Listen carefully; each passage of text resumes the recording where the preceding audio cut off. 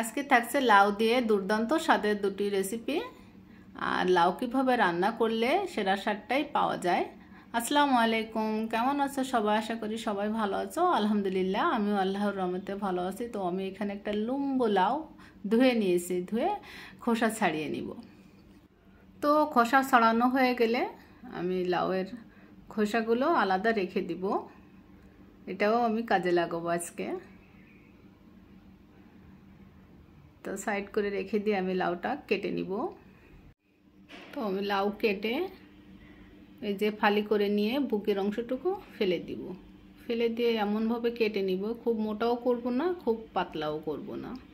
তো আমি সবগুলো একই সাইজ করে কেটে নিয়েছি, নিয়ে যে আমি একটা পাত্রে উঠিয়ে রাখব। এটা আমি আর ধুবো না, আমি আগেই ধুয়ে নিয়েছিলাম কাটার আগে। আর এখানে শোল মাছ নিয়েছি, শোল মাছটা আমি কেটে ধুয়ে পরিষ্কার করে নিয়েছি।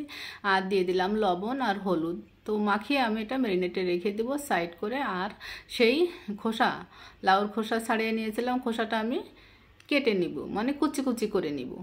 তো কুচি কুচি করে আমি এটা একটা পাত্রে উঠে ধুয়ে পরিষ্কার করে রেখে দিব। সাইড করে আর এখানে চুলায় আমি প্যান বসিয়ে দিয়েছি, দিয়ে দিলাম পরিমাণ মতো তেল, এক চামচ গোটা জিরা।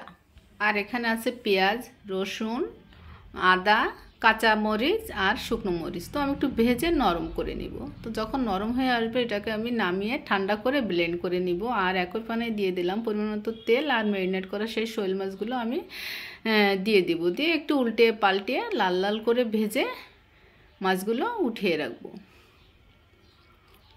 তো মাছগুলি উঠে রেখে আমি প্যানে আর একটু তেল দিব, দিয়ে দিয়ে দিব পেঁয়াজ কুচি, কিছুটা কাঁচামরিচ ফালি আর চিংড়ি মাছ, স্বাদ বুঝে লবণ আর দিয়ে দিব সেই কুচি করে রাখা লাউর খোসা আমি ধুয়ে নিয়েছিলাম আর একটা আলু কুচি করে আমি ধুয়ে নিয়েছিলাম। দিয়ে দিয়েছি রসুন, রসুনটা একটু মোটা করে আমি কেটে নিয়েছি আর দিয়ে দিলাম একটু হলুদ। দিয়ে নেড়ে চেড়ে সুন্দর করে আমি একটু ঢেকে এটাকে রান্না করে নিব।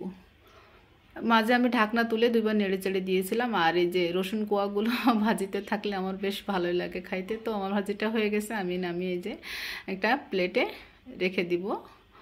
তো আমি আর একটা প্যান বসিয়ে দিলাম চুলায়, দিয়ে দিলাম এখানে পরিমাণ মতো তেল, আর দিয়ে দিলাম সেই লাউ আর স্বাদ মতো লবণ, একটু হলুদ দিয়ে আমি লাউটা সুন্দর করে তেলের সাথে ভেজে নিব। এভাবে লাউটা ভেজে রান্না করলে লাউর স্বাদটা কিন্তু বেশ ভালো আসে। তো একটু ঢাকনা দিয়ে ঢেকেও দিয়েছি। আর ঢাকনাটা তুলে আমি এই যে একটু নেড়ে চেড়ে দিব আর দিয়ে দিব সেই মশলা যেটা আমি ভেজে রেখেছিলাম ওটা আমি ব্লেন্ড করে নিয়েছি। সম্পূর্ণ মশলাটুকুই দিয়ে দিলাম আর পাত্র ধুয়ে একটু পানিও দিয়ে দিয়েছি। দিয়ে এই যে নেড়ে চেড়ে দিব আর দিয়ে দেবো এখানে এক চামচের মতো ধনিয়া গুঁড়া। দিয়ে একসাথে সুন্দর করে সব কিছু মিশিয়ে আমি ঢেকে এটাকে কষিয়ে নিব।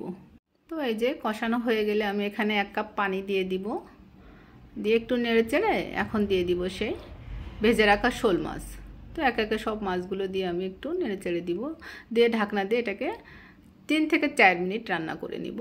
তো ঢাকনাটা তুলে আমি মাছগুলো আবার একটু উল্টে দিব। তো উল্টে দিয়ে এখন দিয়ে দিব আমি ধনিয়া পাতা।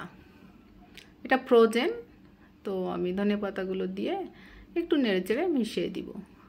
এভাবে লাউটা রান্না করলে কি হয়? লাউর মানে ঝোলটা অনেক গ্রেভি হয়, খেতেও মাসাল্লাহ অনেক মজাই লাগে। তো এই যে আমার লাউ রান্না হয়ে গেছে মাসাল্লাহ আমি এই যে নামিয়ে নিলাম।